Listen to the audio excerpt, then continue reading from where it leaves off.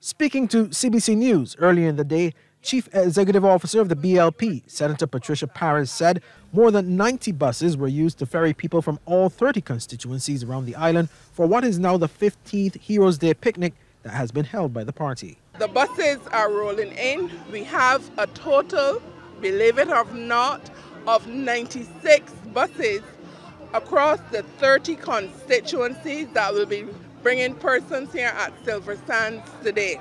That has nothing to do with the private vehicles and you can see it is flowing um, thanks to the Barbados Police Service. We work together so that we can have the flow and the buses are dropping off persons. We're using the one-way system and it promises to be an exciting day. I'm feeling the excitement.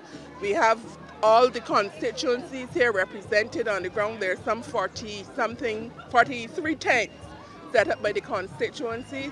She adds that they're thankful to be able to celebrate for a number of reasons. We thank God that we are able to be out in the sunshine and outside, as the saying goes, as we celebrate the birthday of one of our founders, the Right Excellent Sir Grantley Herbert Adams, and this is part of our 85th anniversary celebration. Meanwhile, there was plenty of food to be had for those in attendance and a large kids zone for the children.